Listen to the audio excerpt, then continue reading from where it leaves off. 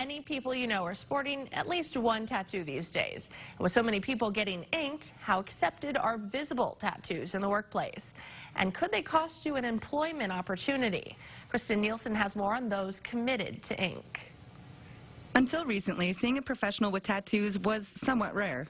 I couldn't wear my sleeves up um, like most servers would do because I had tattoos on my forearms. Mark Conan is an employment specialist at a local employment service agency. He's just one of many people with tattoos who's noticed the shift over the years. Tyler Titus serves on the Erie School Board and also works with youth in the community. My mom was getting her first tattoo, and it was just something that we had we did together. They're both really small. That tattoo has since been covered up by a much bigger piece. This growing popularity has created a boom in business for local tattoo shops. A lot of people get pretty heavily tattooed around here. It depends on what part of the country you're in. Some parts aren't as busy as others.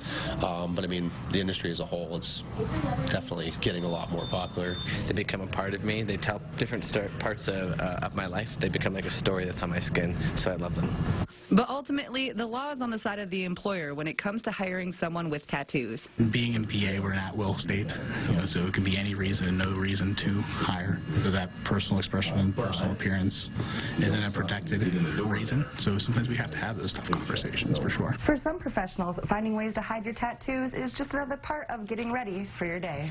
I've been a person that shows that my character, uh, my career, my ambition comes before the ink on my skin. I try to lead by example, and I serve now, you know, in some very public capacities, and my tattoos are out for everyone to see. For me, it's, I think it's a way of self-expression. You know, so all of mine means something to myself. It doesn't necessarily have to get approval from somebody else.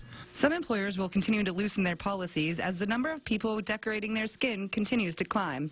But for now, the choice to do so means compromising in some ways to earn a living until tattoos are accepted universally. Kristen Nielsen, Jet 24 Action News.